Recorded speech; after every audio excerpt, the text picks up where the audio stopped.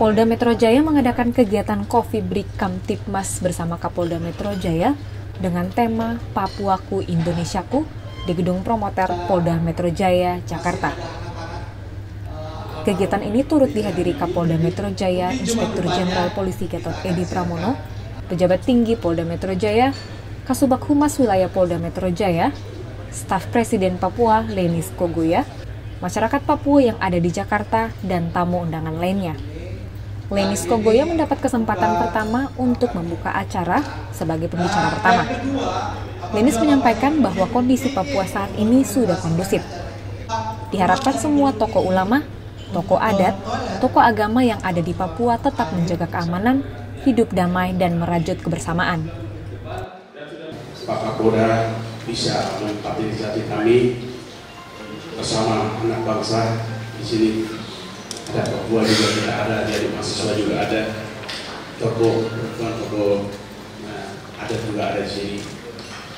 Saya mau sampaikan persoalan di Papua eh, hari ini untuk eh, aspirasi yang beberapa kali yang dilakukan oleh mahasiswa maupun masyarakat Papua. Laporan sementara produktif di Papua.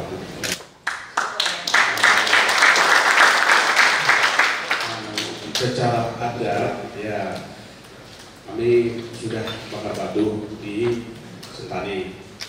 Kalau udah bakar batu berarti eh, langkah berikutnya apa? Jadi pertama saya sampaikan bahwa mari kita damai dulu.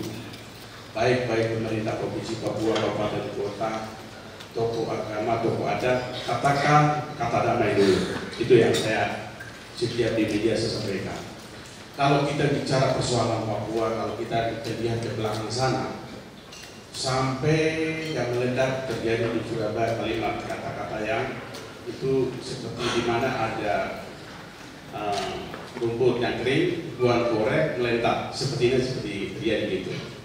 Bahwa sampai di Papua terjadi Papua Papua Barat sudah meledak yang kita lihat beberapa hari yang kita lewat itu. Jadi kita melihat sekarang bagaimana untuk Indonesia ke depan seperti tema yang dikatakan di sini Papua pun Indonesia ku itu kita untuk ke depan.